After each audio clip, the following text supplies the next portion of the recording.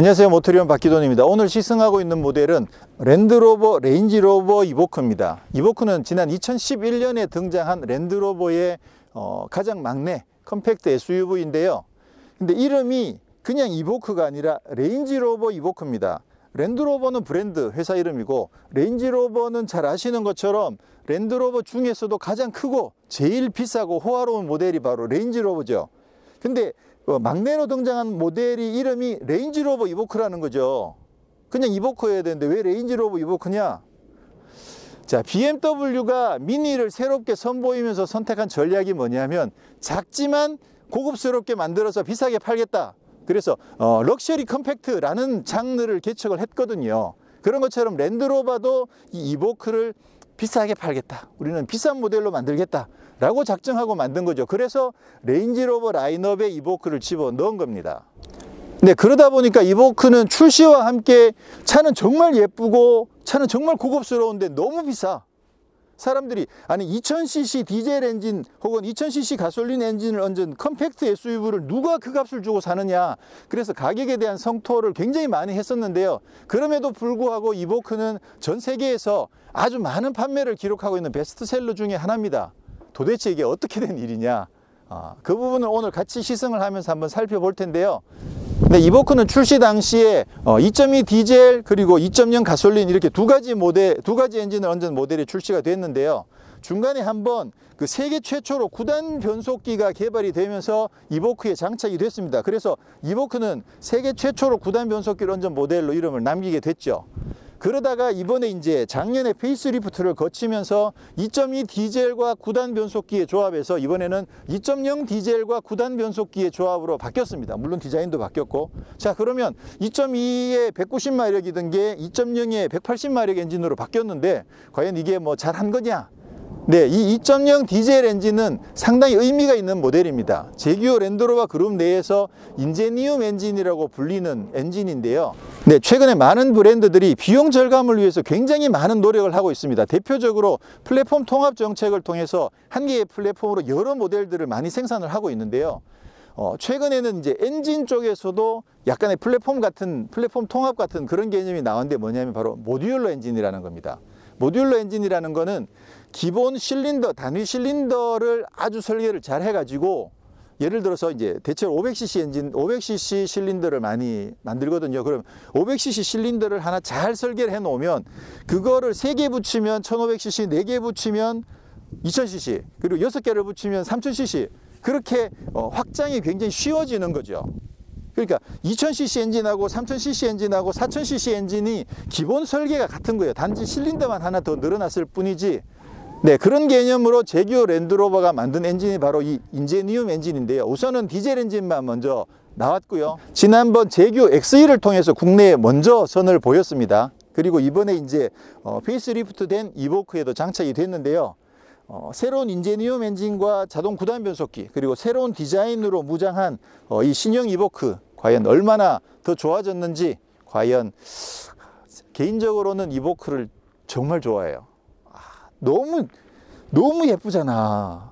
근데 이제 가격이 비싸다는 게 문제이긴 한데 그게 과연 어떤 의미를 가지는지 어, 시승을 하면서 한번 살펴보도록 하겠습니다. 자, 먼저 디자인이 사실 이보크 뭐 facelift다 보니까 크게 바뀐 부분은 없습니다. 그렇지만 디테일 부분에서는 많은 부분들이 변화가 됐습니다. 여기 라디에이터 그릴의 이 격자 무늬들도 새롭게 바뀌었고 대표적으로 이 헤드램프가 아주 날렵해졌습니다. 원래 원래 헤드램프도 되게 날렵했거든요. 근데 이번에는 그 어, LED 헤드램프가 적용이 되면서 LED 램프는 기본적으로 그 전구 자체가 작게 만들 수 있다 보니까 그 디자인 헤드램프 디자인을 굉장히 그 예술적으로 디자인할 수 있습니다. 예전에는 적어도 전구를 넣고 부 주변 이제 장치들을 장착하면 이렇게 커야 됐는데 지금은 LED가 적용되어서 아주 얇고 가늘게 헤드램프를 디자인할 수 있게 됐다는 거죠. 그래서 어, 이, 이번 이보크도 LED 램프로 full LED가 적용이 되면서 디자인이 보면 어, 많이 샤프해졌죠. 물론 이제 그 아래급 어, trim에는 HID가 그대로 적용됩니다만 보시면 헤드램프 안쪽에 어, 위에 다섯 개의 작은 전구, 작은 LED가 있고 아래쪽에 큰 거, 두 개가 LED가 장착이 되어 있습니다. 이쪽 범퍼 좌우측에 공기 흡입구도 굉장히 커졌습니다. 그리고 범퍼 디자인도 바뀌었고 여기 본네트 위에 구멍도 새로 뚫었습니다. 이 하얀색에 까만색 이것도 이게 유광이거든요. 이 유광 high glossy black을 달아 놓으니까 아, 멋있어요. 어, 옆모습에서는 이쪽 air vent 디자인이 좀 바뀌었고 그리고 뒷모습에 가보면 뒷모습에서도 어, rear lamp도 디자인이 좀 바뀌었습니다. 원래 약간 동그랗던 동그란 모양이었던 게 사각형 모양으로 바뀌었고 범퍼들도 바뀌고 네 디테일한 부분에서 조금씩 변화가 있긴 했습니다만 전체적으로 뭐 누구나 보더라도 아 이보크 네 쉽게 이해할 수 있을 만큼 많이 바뀐 건 아니에요. 네, 인테리어도 정말 화려하고 디자인이 정말 멋지게 되어 있습니다. exterior 디자인이 멋진 건 못지않게 인테리어도 정말 멋지게 디자인이 되어 있는데요. 전체적으로는 크게 대시보드랑 center fascia가 T자를 이루고 있어서 굉장히 심플한 것 같고 또 직선들이 많이 적용되어 있어서 아주 단순한 느낌이 들긴 합니다만 디테일들을 굉장히 정교하고 이쪽에는 이게 가죽, 인조 가죽일 텐데 느낌이 좀 특이해요, 재질이. 좀, 좀 특이한데 약간 그 질감도 소프트한 질감도 괜찮고 빨간색 스티치까지 넣어가지고 위에도 지금 뭐 분할들을 굉장히 잘 해놨죠. 이건 아마 옆백 때문에 분할해 놓은 것 같고 그래서 전체적으로 디자인이 굉장히 간결하면서 고급스럽고 그리고 이제 소재들도 굉장히 고급스럽게 디자인이 되어 있습니다. 거기다가 지금 현재 이 트림에는 옥스포드 가죽이 적용이 되어 있는데 시트가 특히나 이 빨간색하고 검정색 투톤 자체가 너무 화려하고 잘 어울리고 그죠? 이쪽 도어 트림에도 빨간색 뒤에 백을 해놨는데 어, 디자인이 정말 이 빨간색은 정말 잘 어울리는 것 같아요 여기에 그리고 계기판은 지금 크게 이제 두 개의 튜브를 이렇게 잘라낸 어, 비스듬하게 잘라낸 그런 튜브가 적용이 돼 있고 어 가운데 글씨나 이런 부분들도 뭐 괜찮습니다. 전체적으로 그래픽이 나쁘지 않고 특히나 가운데 이제 사각형 완전 사각형을 정보창으로 그대로 다 쓰고 있는데 이 정보가 조금 복잡하긴 해요. 기본적으로 시계 온도 그 다음에 수온계 유류계가 기본적으로 깔려 있고 위에는 속도가 있고 밑에는 이제 기어 표시 가운데 이제 네 개의 정보창으로 나눠 가지고 트림 미터 연비 그다음에 주행 가능 거리 평균 속도 이런 것들이 있는데 여기에다가 이제 또 뭐 다른 것들을 선택을 할 수가 있죠. 위아래로 움직여 보면 피클 인포메이션에서 타이어 프레쉬에 들어가 보면 네, 지금 현재 이제 뒷 조, 동반석 뒷바퀴가 지금 어, 압력이 낮은 걸로 나와 있네요. 나와 있고 그 다음에 기어 쉬프트 패들은 어, 아 이걸 정할 수 있군요. 그 SS만 시프트 패들을 쓸 거냐 아니면 이제 DS도 쓸 거냐를 선택할 수 있게끔 되어 있군요. 좀 약간 글자 좀 작아가지고 시인성이 살짝 떨어지긴 하는데 뭔가 좀 화려해 보이긴 합니다. 비주얼 자체가 좋긴 좋네요. 그리고 하단에는 이제 그 연비 주행할 때 엑셀 밟는 정도 속도 뭐 이런 것들을 네, 이게 economic 수준인지 아니면 좀 과하게 스포츠 스포츠 수준인지를 어, 색깔 그린과 빨간색으로 표시를 해주고 있습니다. 눈금으로 똑같이. 네, 그리고 운전대는 어, 디자인이 조금 가운데 이제 사각형 하나, 하나 둘, 셋, 넷, 다섯, 여섯, 육각형이다 보니까 약간 투박한 것 같기도 하고 그리고 또 날개처럼 양쪽에다가 이쪽에는 크루즈 컨트롤 이쪽에는 이제 전화 네, 이런 것들 뒤에는 steering wheel에 열선 넣는 거 네, 이런 버튼들을 날개처럼 이렇게 달아놨는데 이 부분도 굉장히 조작하기 편리하고 괜찮게 잘 되어 있습니다. 이쪽에는 이제 오디오 패널이고 이쪽은 어, trip 컴퓨터 조절하는 패널. 뒤에 이제 시프트 어, 패들이 달려 있고요. 패들도 조작감도 괜찮고 좋습니다.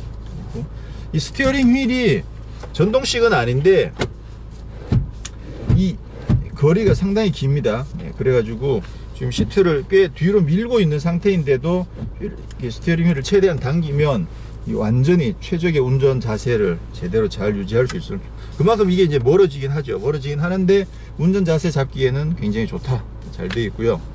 지금 이쪽에 center fascia에 있는 모니터는 해상도가 굉장히 좋습니다. 근데 특이하게 모니터가 이 그 center fascia보다 좀 안으로 깊숙하게 들어가 있습니다. 아마 그 그림자나 이런 부분들 때문에 그러지 않을까 싶고 각도가 누워 있는 각도가 지금 썬루프를 열었는데도 이게 썬루프 반사가 안 들어올 정도로 살짝 눕혀가지고 각도를 굉장히 잘 잡아놨습니다. 아마 요 부분이 비치는 것 같아요. 그래서 어떤 어떤 각도, 어떤 운전 자세에서도 창문이나 썬루프가 반사가 돼서 하얗게 나타내는 그런 부분이 없이 잘 돼 있고요. 지금 현재 이게 이제 홈 화면인데 홈 화면도 보면 그 화면이 세 개로 되어 있습니다. 그래서 지금 여기에 이제 설정, 오디오 설정 뭐 이런 것들 설정하는 화면이 있고 이게 이제 메인 화면이고 오디오 그다음에 전화 그다음에 내비게이션 네, 이런 것들이 있고 이쪽에는 이제 사령 구동 변환 구동 주행 주행 중에 이제 그 디퍼런셜을 잠그는지 그런 부분들을 보여주는 정보창이 있고요.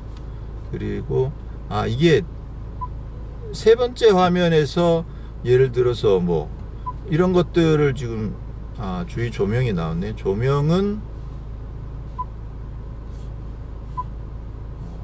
조명 밝기나 이런 것들을 설정할 수 있고 조명 색깔도 설정할 수 있고 어, 그렇군요. 음. 이렇게 네 이렇게 조명 설정을 설정할 수 있고 근데 이 화면에 있다가 넘어가면 아까 이제 메인에서 요 화면에 있었거든요. 이 요 화면에 있다가 빠져나왔는데 이 화면으로 안 돌아오고 메인 화면으로 돌아와 버리네요. 음. 뭔가 정보를 다 확인했다 이거지. 그죠? 스텔스 화면 스텔스 뭐 이런 것도 있고 화면 스텔스 뭐야 이거 꺼짐 스텔스 켜짐 화면 스텔스가 뭘까 화면 꺼짐 버튼 작동 어두워지는 거 그럴 것 같아 보이는데 카메라 그래서 아, around view, around view 모니터인데 이거는 근접 보기. 특수 보기. 어, 좌우만 볼 수 있고. 좀 기능은 다양하게 해놨는데 이게 아주 매끄럽게 잘 그래픽을 잘 합성하는 그런 수준은 아니네요 보니까. 어쨌건 여기서 빠져나오면 다시 이쪽으로 들어온다는 거. 네. 뭐 그것도 나름 의미가 있긴 있네요. 뭐 일을 다 처리했으니까 메인으로 돌아온다 이렇게 생각할 수 있는 거죠 네 오디오는 그 다음에 USB를 들어가 보면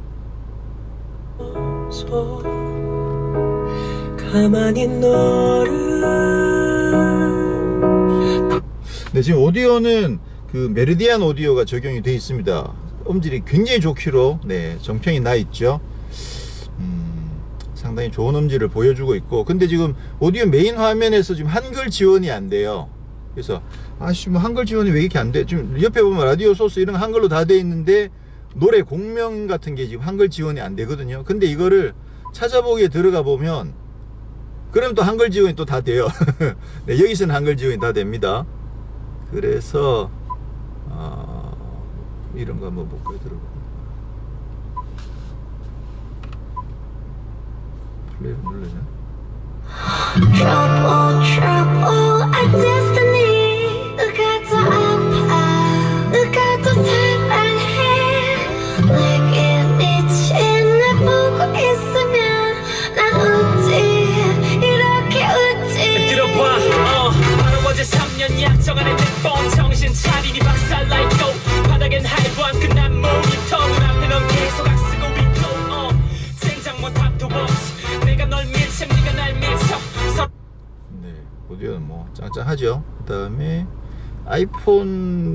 블루투스 스트리밍은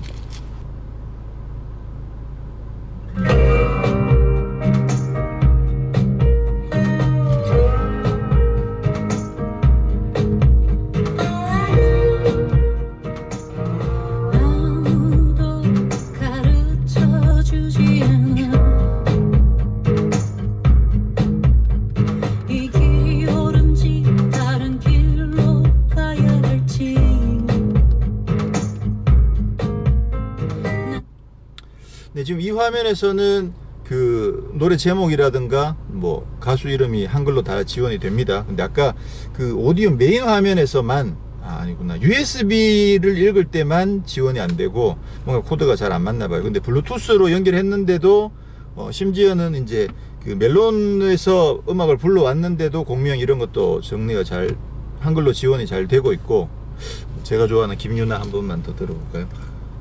아, 길 노래 정말 좋은 것 같아요. 자, 그러면 제가 좋아하는 김유나를 다른 걸로 하나 들어보면 김유나는 이 노래죠. 집으로 돌아가는 길에 지는 햇살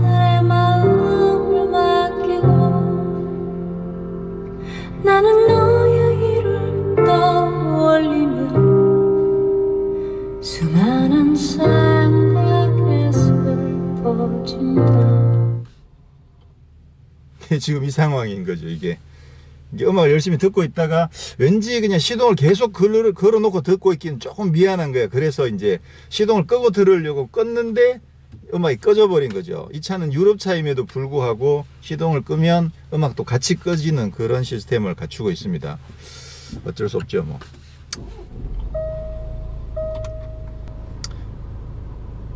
검색 중. 우리는 단지 네, 현대차 같은 경우는 만약에 이제 지금 그 말씀드린 것처럼 시동을 끄면 음악이 같이 꺼지는데요. 근데 그거를 그나마 조금 우회할 수 있는 어, 그런 걸 만들어 놓긴 만들어 놨습니다. 뭐냐면 그 기어를 N에다 두고 N에다 둔 상태에서 지금은 아, 얘는 꺼지네요. N에서도. 현대차 같은 경우는 N에다 두고 시동을 끄면 음악은 살아 있습니다. 그 대신 이제 계속 경고가 뜨죠. 뭐 빨리 P로 옮겨라. 뭐 이런 것들이 계속 뜨니까 조금 귀찮은 거고 그리고 또 왠지 이렇게 했, 상태에서 또 P로 옮겨줘야 될 것 같고 그래서 조금 불편해서 그렇지 어 그렇게 나름 기능을 만들어 놓긴 만들어 놨습니다. 그 지난번에 SM6 때 그 보스는 FLAC 그 고음질 무손실 고음질을 지원하다 보니까 FLAC이나 CD를 들었을 때 그 다음에 MP3를 플레이했을 때랑 또 stream 그 블루투스로 스트리밍을 했을 때 음질 차이가 굉장히 많이 났었거든요. 블루투스 스트리밍에서는 음질이 뭐 아주 많이 손실이 많이 느껴졌었는데 이 차 같은 경우는 어제 제가 USB CD는 제가 확인을 아직 안 해봤고요. USB에 있는 MP3하고 블루투스를 같은 음악을 두 개 이렇게 교차해가면서 들어봤는데 해볼까요? 예를 들어서 USB 몬스터를 한번 들어보겠습니다.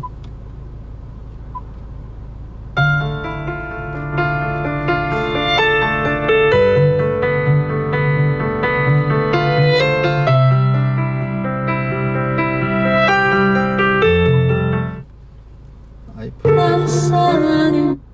아이폰에서도 몬스터를 들어보겠습니다. 자.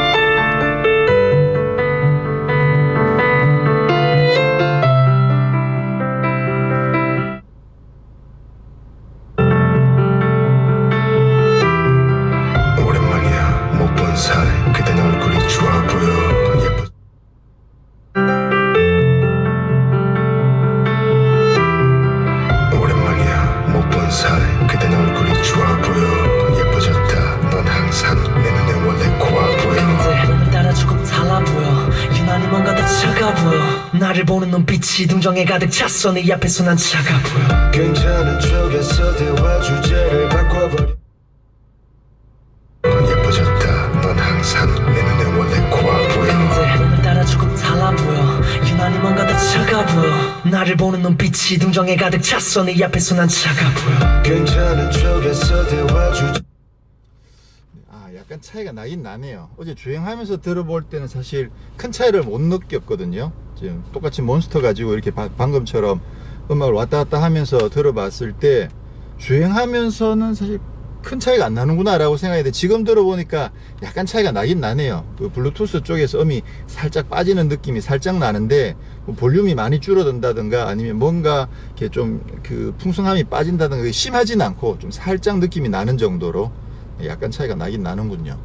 그렇게 정리하고 어, 이쪽은 이제 파킹 그 하는 거고 파킹 센서 끄는 거고 카메라 꺼버리고 야 안 꺼져.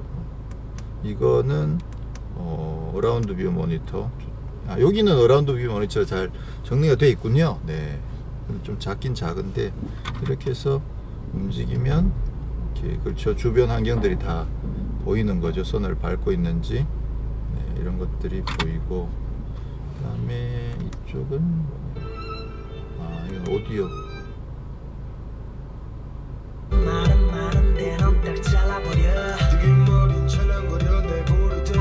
오디오 모드고 음, 오디오 전.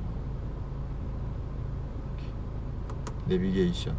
내비게이션은 지니 맵이 적용이 되어 있습니다. 그래서 뭐 그 터치 그래픽도 굉장히 해상도가 굉장히 좋아요 이 정도면 거의 1024 정도는 되지 않을까 싶은데 1024는 1280 정도 되는 정도의 그래픽인 것 같고요 그래서 뭐 그래픽도 괜찮고 이, 이게 지금 느낌이 굉장히 좋습니다. 그냥 아주 쨍한 그런 느낌이 아니고 살짝 뽀샤시한 그런 느낌이 적용이 되어 있어서 그래픽도 굉장히 잘 되어 있고요. 자, 이제 이쪽에 이제 시동 거는 버튼이 위에 있어서 이쪽에 있을 때는 사실 좀 편한데 이렇게 걸리는 먼 게 조금 불편하긴 한데 뭐 맨날 2차 타시는 분들은 뭐 잊어버리고 타시겠죠. 그 다음에 센터페시아에는 CD 넣는 데가 있고 그리고 에어컨은 자동으로 돼 있고 지금 여기에는 그 난방만 지금 3단으로 돼 있고요. 냉방 시트가 없습니다. 네, 좀 냉방 시트가 없다는 게 조금 아쉽네요.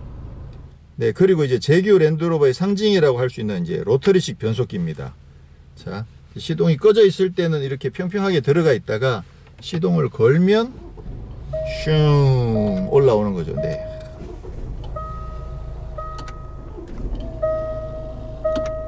멋있어요. 이 동작 자체가 우아하게 내려갔다 우아하게 올라오잖아. 그리고 가운데는 이 high glossy라 광택이 굉장히 좋은데 네, 옆에는 이제 줄처럼 네, 그 쇠 깎는 줄처럼 이렇게 어, 까칠까칠하게 만들어 놔 가지고 grip감도 굉장히 좋게 만들어져 있습니다. 자, 뭐 브레이크를 밟고 이렇게 돌리면 바로 뒤까지 가는 거죠. 근데 이제 그 실수로 이게 지금 보면 RNDS까지가 지금 일렬로 있다 보니까 실수로 S까지 가지 않느냐. 어, 지금 가버렸네요.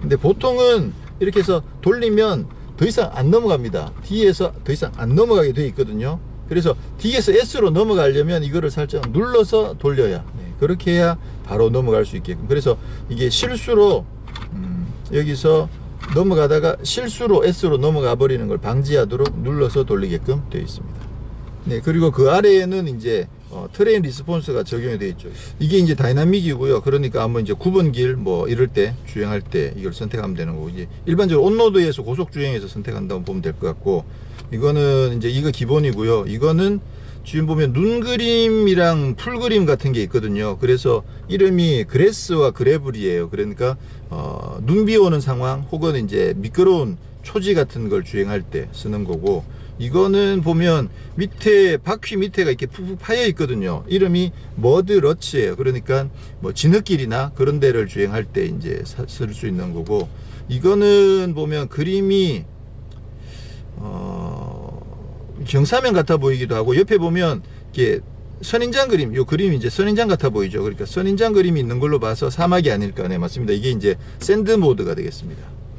네, 인테리어를 좀 살펴봤고요. 주행하기 전에 어, 차의 성격을 조금 한 번 더 살펴보면 지금 이게 차체 크기가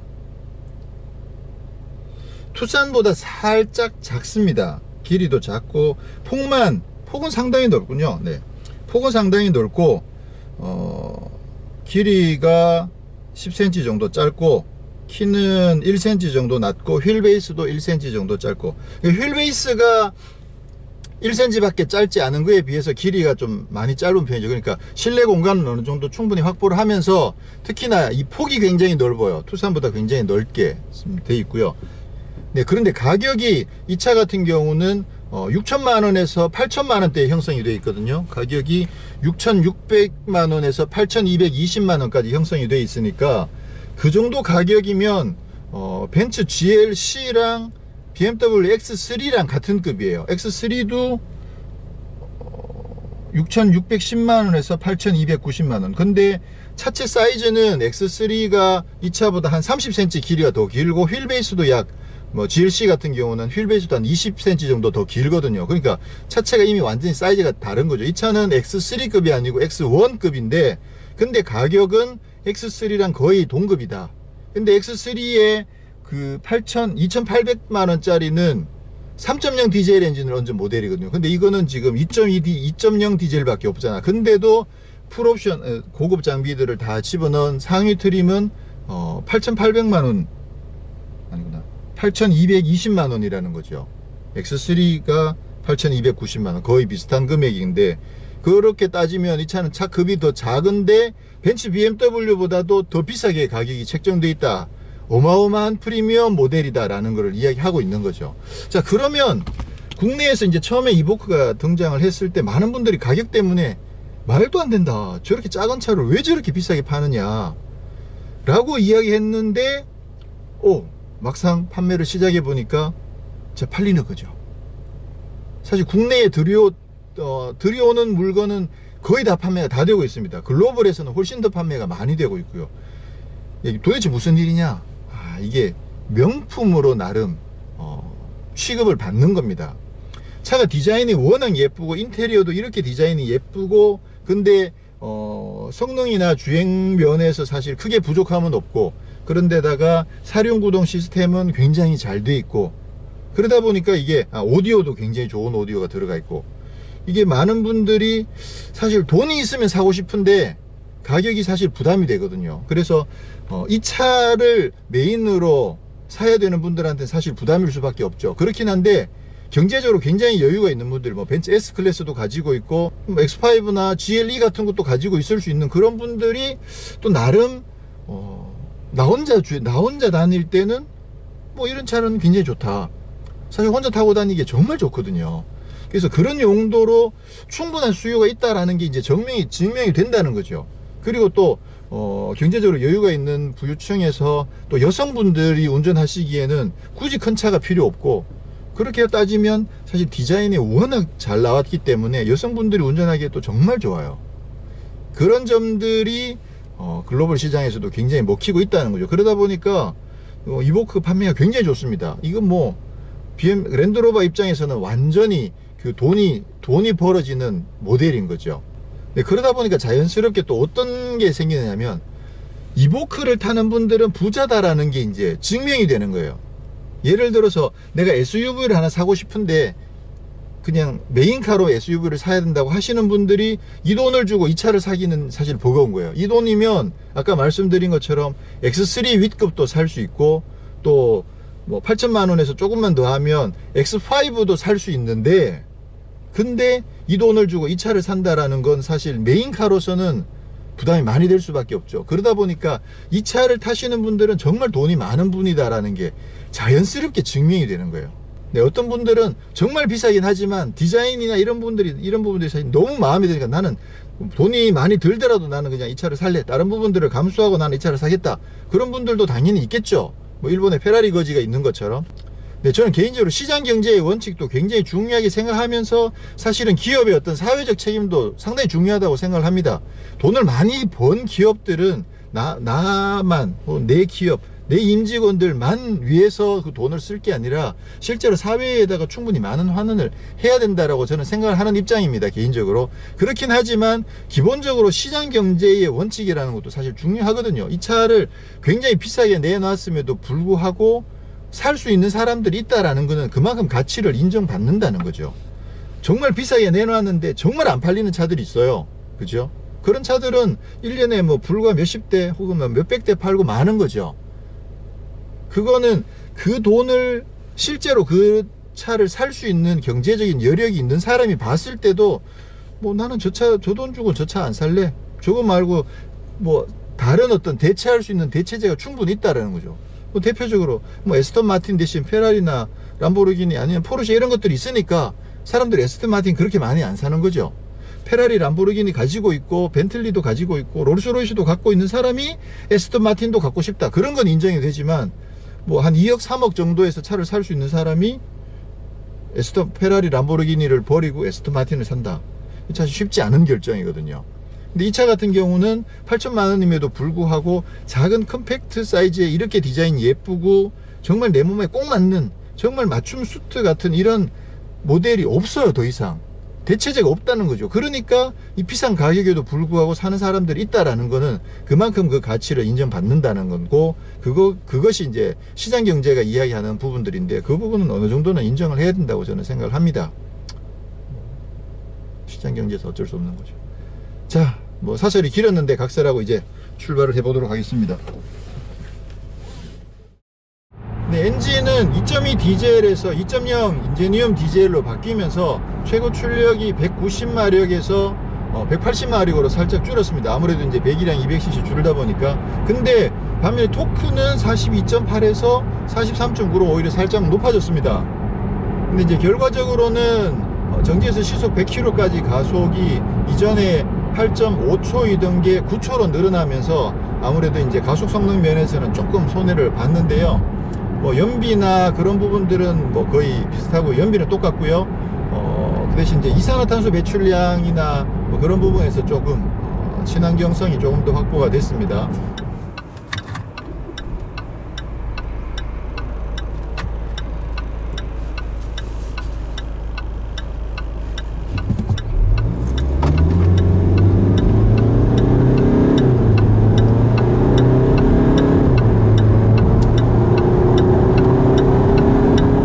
네, 가속은 사실 9초, 8.5초 정도면 뭐 굉장히 경쾌하게 잘 나가는 편이거든요. 그래서 이 차도 초반 가속해 보면 오 잘 나간다 라는 느낌이 들 정도로 비교적 경쾌하게 출발을 잘 하고요. 사실 이제 8.5초에서 9초로 바뀐 정도는 아주 미세한 정도여서 그렇게 차이가 많이 날 정도로 둔해졌다. 뭐 그런 정도의 느낌은 아니고 아마 뭐 예민하신 분들은 어, 조금 발끝에 전내지는 어떤 감각이 조금 느려졌네. 어, 둔하네 이런 느낌을 살짝 받으실 수 있을 정도가 될 것 같고요. 또 그런 반면에 중속에서의 그 제가속시 토크는 굉장히 좋습니다. 지금 뭐 전반적으로 토크감이 굉장히 두텁게 올라오는 편이고 어떤 상황에서도 이렇게 가보면 이렇게 슉 치고 밀어주는 맛이 굉장히 좋은 게 사실 이제 며칠 전에 시승했던 그 모하비 3.0 디젤 엔진을 얹은 모하비보다도 토크 감각은 이게 훨씬 더 좋게 느껴질 정도로 근데 뭐 차체가 compact하긴 하지만 사실 무게는 상당하거든요 근데도 2.0 엔진 가지고 어, 이 정도 토크감을 낸다면 어, 뭐 상당히 괜찮은 편이라고 할 수 있겠죠. 자 그리고 이 차에 이제 스포츠 모드가 있습니다. 그래서 어, 이 다이얼을 살짝 눌러서 한번 돌리면 이제 스포츠 모드가 되고요. 그러면 바로 이제 기어 단수가 한두 단 내려오면서 회전수를 조금 더 높게 쓰죠. 이렇게 되면 사실 어떤 상황에서 그냥 평상시 주행하다가도 엑셀을 밟으면 바로 토크감이 슉 이렇게 전달되는 그런 느낌들을 제대로 즐길 수가 있습니다. 물론 이제 어, 회전수를 높게 쓰니까 연비는 많이 떨어지긴 하겠지만 뭐 시내 주행에서든 아, 사실 이 스포츠 모드는요 고속 주행보다는 시내 주행에서 훨씬 더 유리합니다. 그래서 시내 주행에서 뭐 그렇게 높지 않은 속도로 주행하고 있을 때에도 내가 원하면 언제든지 바로바로 이제 가속력이 나와주니까 그럴 때 훨씬 더 어, 좀 유리하게 쓸 수 있고요. 물론 이제 뭐 그 dynamic dynamic 주행을 할 때도 이제 스포츠 모드를 쓰면 그게 더 낫겠죠. 네, 그래서 이제 여러 번 말씀드린 것처럼 디젤 모델에는 이 스포츠 모드가 있으면 그냥 자동으로 변속이 되긴 하지만 기어를 살짝 어, 낮은 기어를 운용하고 또 약간 고회전에 굉장히 강력한 토크를 언제든지 바로 바로 뽑아 쓸 수 있다는 점에서 굉장히 재밌게 주행할 수 있는 게 이제 스포츠 모드다. 이렇게 말씀을 드리고요. 그리고 아까 이제 모드 설정에서 보신 것처럼 뒤에 있는 상황에서도 시프트 패드를 쓰면 바로바로 기어가 내려갑니다. 그 회전수 회전수 보정은 상당히 그 잘 해주는 편이고요. 오, 9단. 야, 9단까지 올라갑니다. 9단에서 9단에서 가속을 하면 9단에서도 어느 정도 가속이 되네요. 지금 9단 100km로 주행할 때 회전수가 어, 1350! 네, 아무래도 이제 워낙 기어비가 어, 촘촘하게 되어 있다 보니까 9단에서는 회전수가 무려 100km에 1350rpm 이렇게 되면 이제 9단 100km로 주행하면 연비 이제 완전 잘 나오게 되는 거겠죠.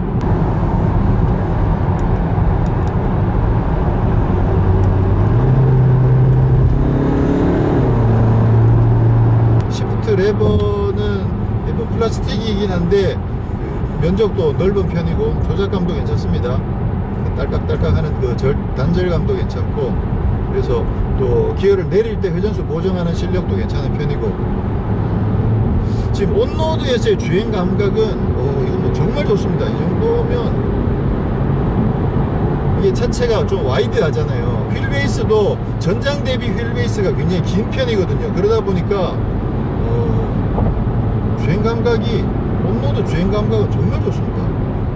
네, 승차감은 어, 전체적으로 굉장히 아주 말랑말랑한 그런 스타일은 아니고요. 승차감은 굉장히 고급스러운 느낌이 나면서 승차감을 해치지 않는 범위 내에서 안정감을 굉장히 높게 그렇게 설정을 잘 해놨습니다. 그래서 그 노면이 좋은 게를 달려보면 안정감과 승차감이 정말 자, 좋게 잘 느껴지고요.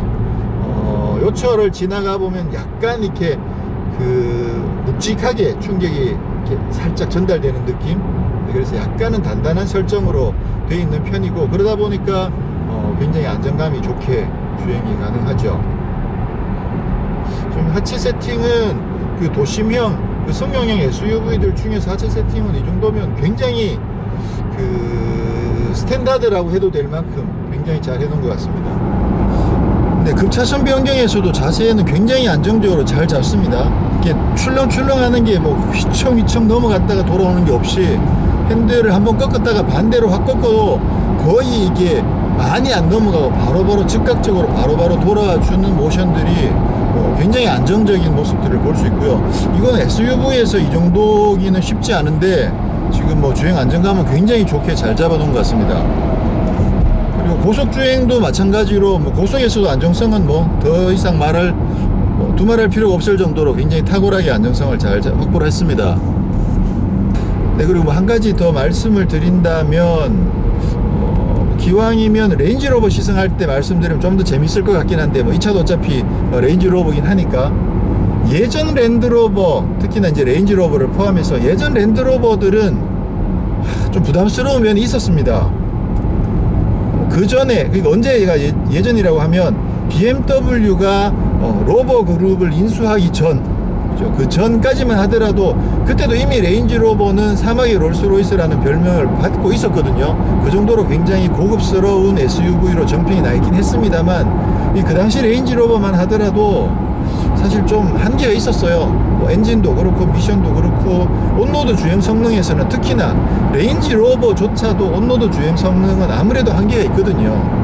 그랬는데 BMW가 로버 그룹을 인수를 하면서 로버 그룹 내에 뭐가 있었느냐면 좀 대중적인 로버 브랜드가 있었고요. 그리고 미니가 있었습니다. 예전에 이제 로버 미니라고 불렸었죠. 그리고 랜드로버가 있었던 거죠. 자, BMW가 로버 그룹을 인수한 다음에 뭘 했느냐? 바로 X5를 개발한 겁니다. 네, 벤츠가 먼저 M 클래스를 선을 보였습니다. 어, 럭셔리 도심형 SUV의 원조라고 하면 메르세데스 벤츠 M 클래스를 들 수 있습니다. 벤츠가 M 클래스를 선을 보이고 난 뒤에 BMW도 어, 우리도 뭘 해야 되는데 근데 BMW는 지금까지 세단과 스포츠카만 만들어 봤지 SUV를 만들어 본 경험이 없다는 거죠. 자, 어떤 이유에서인지 모르겠지만 BMW는 로버 그룹을 인수를 했고, 네, 로버 그룹을 인수한 다음에 랜드로버의 그 막강한 SUV 개발 실력을 활용을 해서 X5라는 정말 시대의 걸작을 만든 겁니다. X5는 SUV인데도 불구하고 랜드로버의 SUV의 성능 그리고 BMW의 어, 스포츠 주행 성능이 결합이 되면서 정말 이상한 놈이 탄생한 거죠. 이거는 분명히 SUV처럼 생겼는데 달려보면 스포츠카야. 와 정말 어떻게 이런 차가 나올 수 있지? BMW는 SAV sports activity ve activity vehicle이라고 해서 SAV라는 이름을 붙였는데 어쨌거나 X5가 개발이 되면서 BMW는 어, SUV 개발 실력을 확보를 합니다. 상당 부분은 뭐 어, 랜드로버의 그 기술을 어느 정도 흡수를 했다고 봐야 되겠죠. 자, 재미있는 것이 BMW가 이 랜 X5를 개발을 하고 난 뒤에 로버 그룹을 팔아버립니다. 로버 그룹을 팔면서 로버를 팔아버리고 랜드로버를 팔았는데 뭘 남겼느냐 하면 미니는 남겼습니다. 미니는 브랜드를 남기고 X5를 남기는 과정에서 어, 랜드로버의 기술력을 남긴 거죠. 그리고 이제 어, 랜드로버 브랜드랑 로버 브랜드는 팔아버렸는데 뭐 일종의 먹튀라고 봐야 됩니다. 제가 봤을 때는 어, 먹튀라고 보입니다. 어쨌거나 BMW는 로버 그룹을 통해서 랜드로버의 SUV 기술을 흡수했고 그렇게 흡수된 기술을 가지고 X5를 만들었고 랜드로버에서는 레인지로버를 만들었죠. 그래서 어, 레인지로버 처음 나왔던 그 당시에 BMW가 만든 X, 레인지로버를 타보면 on-road 주행 성능이 정말 좋아요. 전반적으로 조금 더 고급스럽고 조금 더 부드러워졌고 그리고 오프로드 성능이 조금 더 강해졌지만 X5의 숨결이 굉장히 많이 녹아있는 모델이 처음 레인지로버였고요. 그리고 그 이후에 이제 완전히 랜드로버가 BMW가 분리가 되고 난 뒤에 조금 어, 랜드로버의 옛날 색깔들을 많이 어, 접목을 시키긴 했습니다만 여전히 BMW가 만들어줬던 그 뛰어난 온로드 성능은 지금 랜드로버들이 다 가지고 있는 거죠. 그러니까 일종의 음, BMW가 먹튀인 건 사실이긴 한데 어, 랜드로버에도 굉장히 좋은 걸 주고 보내준 거죠. 그런 관점에서 봤을 때 서로 어떻게 보면 윈윈이라고 볼 수 있습니다. 지금 재규어 랜드로버, 재규어하고 랜드로버가 합쳐져서 재규어 랜드로버 그룹 내에서 랜드로버는 돈을 엄청나게 많이 벌고 있는 브랜드거든요. 지금 물론 이제 뭐 인도로 넘어가긴 했습니다만 제 랜드로버 브랜드만으로 볼 때 랜드로버는 지금 엄청나게 돈을 많이 법니다. 그렇게 될 수 있었던 제가 봤을 때 결정적인 요인은 BMW가 만들어준 그 첫 번째 레인지로버라고 저는 확실하게 장담을 합니다. 어, 지금 현재 이 이보크가 이처럼 뛰어난 on-road 주행 성능을 가지게 된 데에는 어, 사실 거슬러 올라가 보면 BMW 피가 어느 정도 섞여 있다. 라는 걸 말씀드리고 싶은 거죠.